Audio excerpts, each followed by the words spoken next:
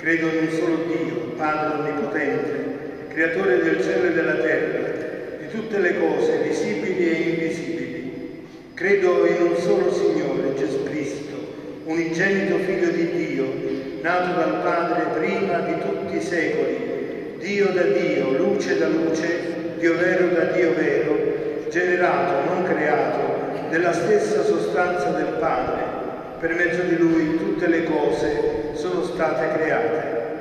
Per noi uomini e per la nostra salvezza discese dal cielo e per opera dello Spirito Santo si è incarnato nel seno della Vergine Maria e si è fatto uomo. Fu crocifisso per noi sotto Ponzio Pilato, morì e fu sepolto. Il terzo giorno è risuscitato secondo le scritture, è salito al cielo, siede alla destra del Padre e di nuovo verrà nella gloria per giudicare i vivi e i morti e il suo avrà fine. Credo nello Spirito Santo che è il Signore dalla vita e procede dal Padre e dal Figlio. Con il Padre e il Figlio è adorato e glorificato e ha parlato per mezzo dei profeti. Credo la Chiesa, una santa, cattolica e apostolica. Professo un solo battesimo per il perdono dei peccati. Aspetto la risurrezione dei morti, la vita del mondo che verrà. Amen.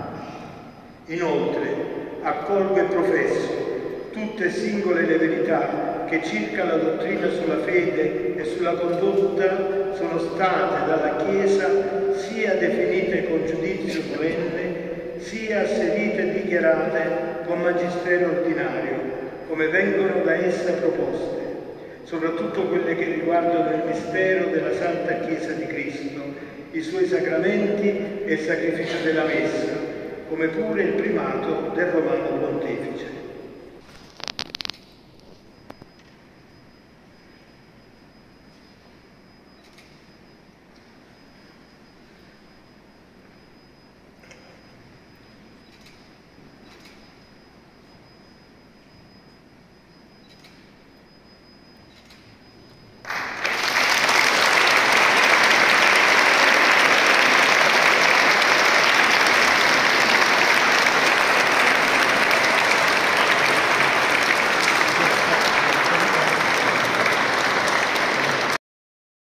Nel cuore pulsante di Soverato si è svolta una celebrazione memorabile che ha radunato autorità civili, militari e religiose, così come l'intera comunità.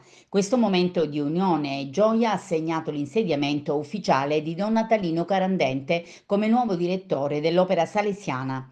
La liturgia solenne non si è limitata a celebrare Don Carandente, ma ha anche reso omaggio a Luigi D'Antone, il quale ha assunto il ruolo di nuovo incaricato dell'oratorio, figura fondamentale per la guida spirituale e giovanile della comunità salesiana.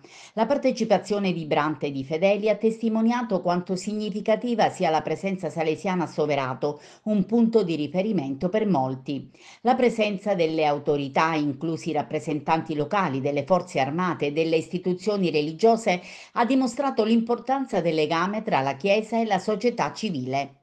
Il loro supporto ha concretizzato un forte segnale di collaborazione e di impegno comune per il bene del territorio. Momenti di condivisione e riflessione si sono intrecciati in una cerimonia che ha sottolineato il valore della continuità e del rinnovamento nell'opera salesiana. Le parole ispiratrici di Don Giampaolo Roma hanno infuso speranza e determinazione, invitando tutti ad un impegno corale per il futuro. La celebrazione a Soverato non è stata solo un passaggio di consegne, ma anche una promessa di crescita e sviluppo per l'oratorio e l'opera salesiana. Un'occasione che ha visto la comunità unita, pronta a sostenere i suoi nuovi leader spirituali e a camminare insieme verso un futuro luminoso. Don Natalino Carandente, nuovo direttore dell'Opera Salesiana di Soverato, di Soverato, benvenuto in città. Grazie. Cosa ci dice un primo impatto? È una bella città con tanta gente accogliente, buona, disponibile, che si mette al servizio e questa è la prima cosa che ho notato venendo qua. Ecco, c'è stata una partecipazione numerosissima delle persone che ringrazio ecco, di questa vicinanza e anche una forma di incoraggiamento per me, insomma. La vostra principale missione in questi tre anni quale sarà? Ecco, vediamo di studiare insieme un progetto per camminare insieme e vedere quali sono i bisogni e le necessità del paese, soprattutto dei giovani. Un saluto a tutti i telespettatori e ringrazio eh, tutti i cittadini che mi hanno accolto calorosamente. Grazie. Sì, questa sera è stata davvero una serata molto bella in cui sono stato molto contento di vedere tutta la comunità compatta nell'accoglienza del nuovo direttore. È stato sicuramente un momento bello di famiglia è stato bello vedere non solo tanti cittadini di Soverato, ma anche tutte le autorità civili, politiche, militari e anche religiose, c'erano anche le nostre consorelle. È stato un momento, come dicevo, di famiglia in cui abbiamo provato a guardare insieme al futuro col desiderio che i salesiani possano continuare a essere la storia di questa città così come sono, sono stati in passato.